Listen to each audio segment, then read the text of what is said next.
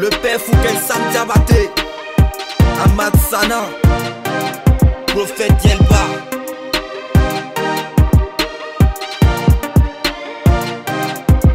On est fiers de nous.